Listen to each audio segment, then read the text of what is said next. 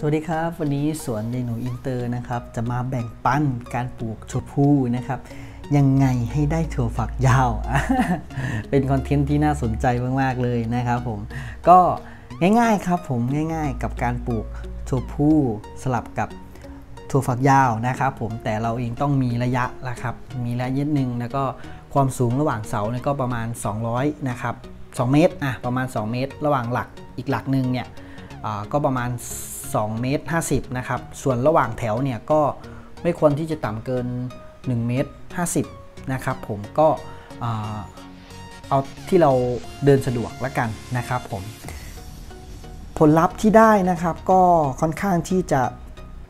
ลูกดกนะครับ แล้วก็ถั่วนี้ก็ใหญ่ยาวนะครับผมถือว่าเป็นที่น่าพอใจเลยนะครับ เพราะว่า ถั่วฝักยาวเนี่ยอายุการเก็บเกี่ยวเขาจะเริ่มเก็บเกี่ยวได้ประมาณ 1 เดือนนิดๆเนี่ยเขาเริ่มจะออกฝักแล้วนะครับ ส่วนถั่วพูเนี่ยนะครับอายุการเก็บเกี่ยวเขาจะประมาณ 2 เดือน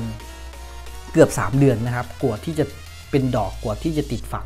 เราเองก็เลยมามาใช้วิธีการแบบนี้นะครับปลูกแซมเข้าไปเลยห่างกันอยู่ประมาณสัก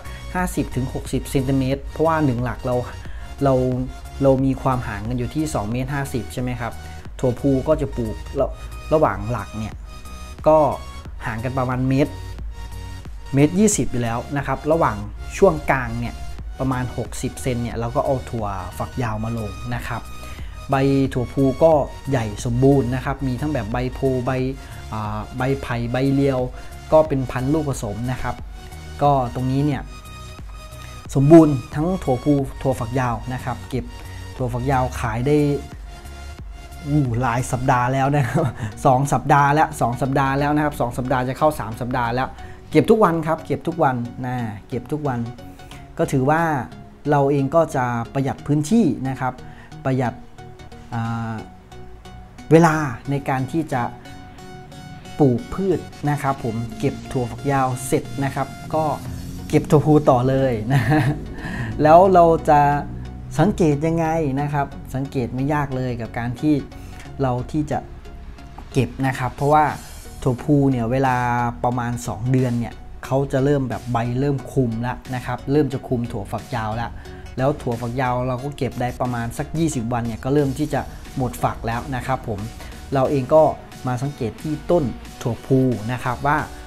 ถ้าเริ่มเห็นดอกนะครับ เริ่มเห็นดอกเห็นฝักถั่วพูออกแล้วเนี่ย เราเองก็พิจารณานะครับ ตัดสินใจนะตัดถั่วฝักยาวทิ้งได้เลยนะครับ ตัดทิ้งได้เลย เพราะว่าเราเองจะเก็บถั่วพูต่อล้วนะครับ อายุการเก็บเกี่ยวถั่วฝักยาวนี้ก็สั้นลงล้วนะครับ จะหมดละ 20 วันนะครับ ก็ตัดทิ้งได้เลยนะครับ ตัวนี้ก็เป็น เป็นคลิปที่ผมถ่ายมาให้ดู ผมตัดออกประมาณได้2อสวันนั่นแหละเถาของถั่วฝักยาวก็เริ่มเริ่มแห้งเริ่มเริ่มตายลงไปแล้วนะครับ ผมก็ใช้เกี่ยวเกี่ยวข้าวนะครับ เกี่ยวโคนเลยนะครับ ตัดโคนเลยแล้วก็ไม่ต้องเสียดายนะครับ ไม่ต้องเสียดาย เพราะว่าเขาเองก็อายุสั้นอยู่แล้วนะครับ ตัวฝักยาวตัดออกเอาไว้หลุมละ2 2 ต้น 3 ต้นอย่างเงี้ยผมเองก็เอาไว้ประมาณนี้นะครับ ระยะห่างก็ห่างพอสมควรนะครับ ถั่วถั่วพูนะครับนี่ครับเอาไว้ประมาณหลุมละ 2 ต้นพอห้ามเกินนี้นะครับ ถ้าเกินนี้คือเครือมันจะเถามันจะเยอะจนเกินไปนะครับ ผมอะก็เป็นเทคนิคเล็กๆน้อยๆนะครับ มาแบ่งปันวันนี้ยังไงใครก็ใครที่ชอบก็กดไลค์กดแชร์ กดติดตามไว้นะครับ จะมีเทคนิคนะครับใหม่ๆดีๆนะครับ เกี่ยวกับการทำเกษตรมาแบ่งปันทุกๆ คนนะครับ สวัสดีครับ